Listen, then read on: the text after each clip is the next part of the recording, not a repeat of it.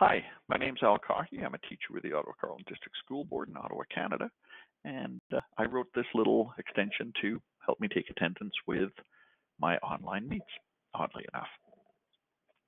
When you first install the extension, you'll see this screen, this little thanks for installing. Um, it includes a number of pages of tips in terms of how to get started and taking attendance and and such and such. The text here will be modified as as time goes on, but gives you an overview, some some tips and uh, uh, guidance for for getting started.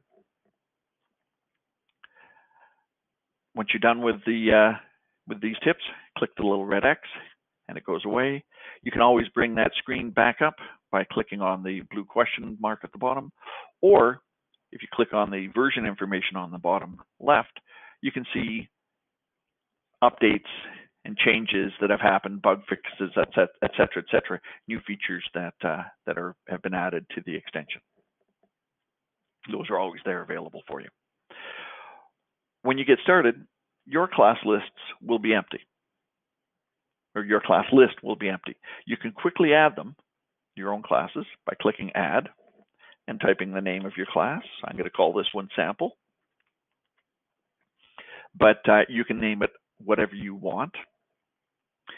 You can then enter your students' names. You can type them. You can copy and paste them from another spreadsheet if you have that there. Typically, in my experience anyways, and what I've heard from other people, it will be first name, space, last name. Case doesn't matter whether they're uppercase, upper or lowercase. You can also, if you have your files or your class list in a separate file. So here I have my sample class list. Click, open, and now you can see the students in my class. And the way that the extension works is it starts with a list of people who you expect to be on the call. Here's your entire class list. And then as the students join the meeting, a check mark is prepended to their name indicate that they've arrived. And in the background, I store the um, the time at which they arrived. We'll see that in just a second here once I join the meet.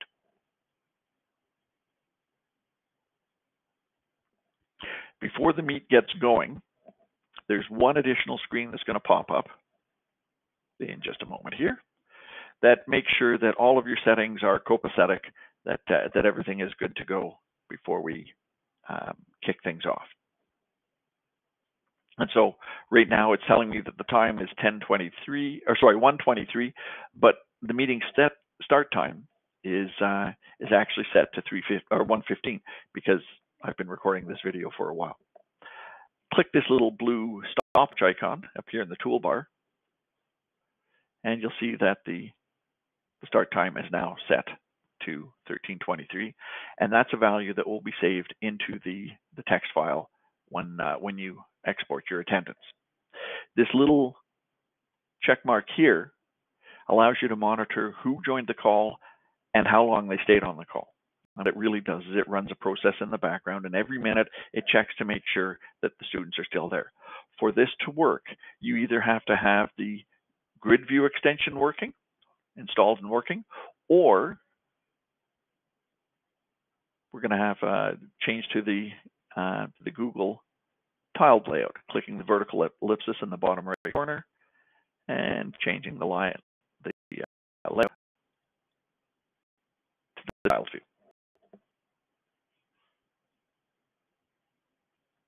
Okay. Now this screen is kind of big right now. If I close this little red X, there we have the screen.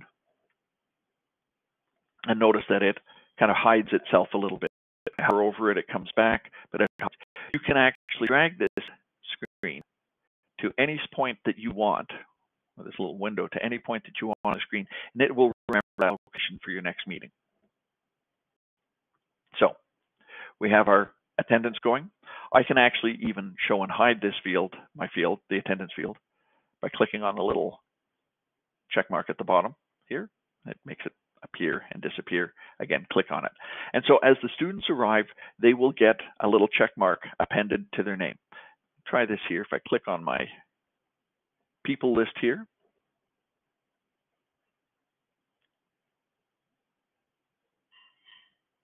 These are all the people that are currently on my call. And notice, once we get that, and I'm going to jump back out of that again, over here, Al Caughey appeared at the bottom of the list here with a question mark because that name wasn't on the class list before, but the person is on the call. And so if anyone unexpectedly arrives in the call, their names will be added to the list automatically, nothing that you have to do. I just forced the issue here by, by clicking on the, the people icon. Um, again, nothing that you have to do to take attendance. As the students arrive, their names will get a check mark beside them, and in the background, the, the time will be recorded. Once you end your call,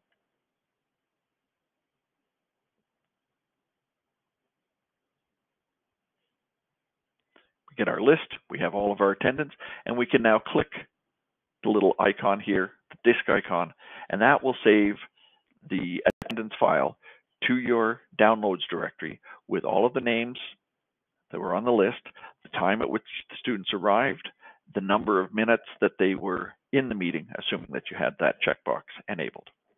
And there you have it. Uh, a few other features in the uh, in the toolbar here, as we've seen, the uh, the folder icon allows you to uh, to read your names from a from an existing file. The little disk icon, or sorry, trash can icon here will allow you to uh, delete a particular class if you don't want that class anymore, or if you've misentered the uh, the class name. The little uh, eraser icon here will remove. Notice the question mark at the beginning of my name here. If I click that, it removes that uh, that check mark or question mark in the file. Uh, you can also delete all of the names in the in the class if you want to empty out your class list for whatever reason. One last option under the uh, sample menu or sorry, the uh, class list dropdown. If you choose the reset, that will clear all of the uh, all of the all of the uh, saved classes. So it's a way of um, purging your class lists from the uh, from the extension. And there you have it in a nutshell. Enter your class list, join the meet. Attendance is taken automatically, nothing that you have to do. However, as I said before, if you do want to monitor attendance, then you must change to the, uh, the tiled layout or use the grid view extension so that all of the students who are in the meet are on the screen. There you have it. If you have any questions or concerns, um, there is, sorry, there is a Facebook page that allows you to uh, get updates. I, I, post things regularly. There's also a, a, YouTube channel where I will post videos on a on a regular basis. Um, you can find my contact information. I would prefer that you uh, send questions through the uh, the Facebook page, but uh, you can get my my name and uh, and uh, email address uh, from. I think it's under that. Uh, no, that's going to take me to the. that's going to take me to the to the Facebook page. I didn't mean to do that. If we go to the help, how do I use this page? Sorry, got myself a little confused there. At the bottom, you can see my coordinates and and how to how to contact me. But again, preferably through the uh, through the Facebook page. Thanks, and I hope that this little extension is uh, useful to you. Thank you very much.